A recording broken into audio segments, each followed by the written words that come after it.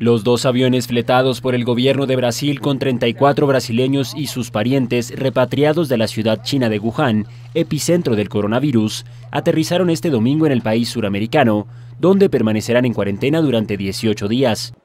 Las aeronaves VC-2 de la Fuerza Aérea Brasileña llegaron a una base de Anápolis, estado de Goiás, poco después de las 6 de la mañana, hora local. Los evacuados permanecerán en el hotel de la base aérea de Anápolis que ha sido adaptado para la ocasión. En caso de que alguno presente síntomas del coronavirus, que ha dejado en China al menos 811 muertos y más de 35.000 infectados, será inmediatamente trasladado en helicóptero al Hospital de las Fuerzas Armadas en Brasilia, a unos 140 kilómetros de Anápolis. En una nota oficial, Brasil agradeció en la víspera al gobierno chino por autorizar prontamente el aterrizaje de las aeronaves brasileñas y facilitar los trámites necesarios para la evacuación de los brasileños y sus familiares, que expresaron su deseo de volver a su país.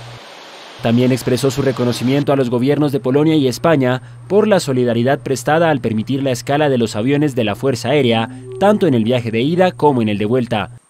La Organización Mundial de la Salud decretó a finales de enero la emergencia sanitaria internacional por este nuevo virus, que presenta síntomas parecidos a los de una neumonía y que ha registrado casos en una veintena de países.